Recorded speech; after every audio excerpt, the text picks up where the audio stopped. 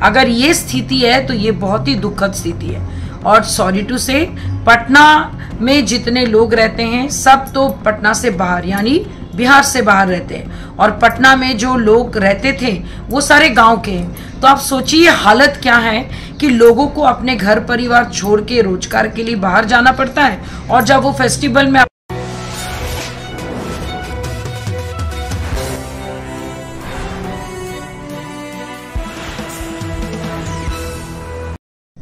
जैसे कि हम सब जानते हैं कि छठ एक महापर्व है और ये ईस्ट इंडिया का सबसे बड़ा त्यौहार है। और अगर मैं बिहार की बात करूँ तो 14 करोड़ बिहार वासियों की ये सबसे बड़ा पावन पर्व का पूरा साल इंतज़ार रहता है।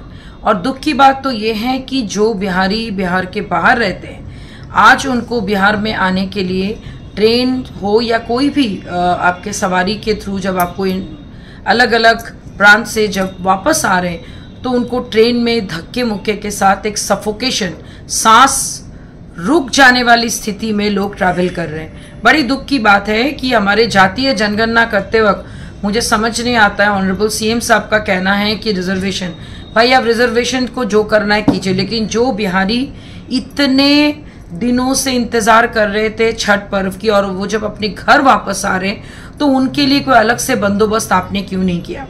अगर आप उनके बारे में टेन परसेंट भी सोचे होते तो मुझे ऐसा लगता है कि आज आपको आ, ये बोलना नहीं पड़ता है कि बिहार में आरक्षण चाहिए या फिर बिहार को एक विशेष राज्य का दर्जा मिलना चाहिए। इससे यही साबित होता है कि मैक्सिमम बिहारी जो बिहार में रहने वाले ज़्यादातर लोग बाहर में यहाँ पे नौकरी या डेवलपमेंट नहीं होने की वजह से बाहर में जाके अपने परिवार का पेट पालते हैं। दुख की बात तो ये है ऑनरेबल सीएम ऑफ़ बिहार आप विधानसभा में जाके आप सेक्स के ऊपर उलझुल बात ज़रूर कर कर सकते हैं।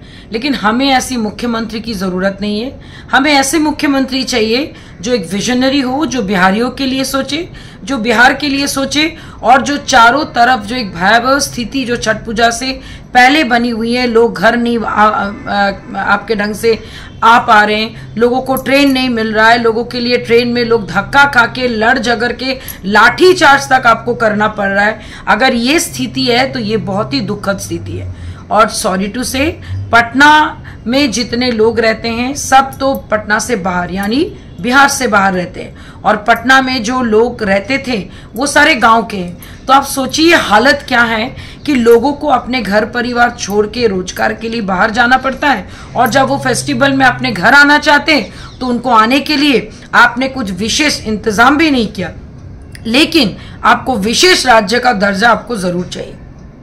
सो हम लोग यही रिक्वेस्ट करेंगे आपसे सर प्लीज़ इस चीज़ पे ध्यान दिया जाए। और मैं माँ छठी से मैं रिक्वेस्ट करूँगी मैं, मैं अपने दिल से मैं उनको आग्रह करूँगी कि आपको सुबुद्धि प्रदान करें ताकि आप बिहार के लिए बिहार वासियों के लिए कुछ अच्छा कुछ बड़ा और एक विजन लेके आ पाए।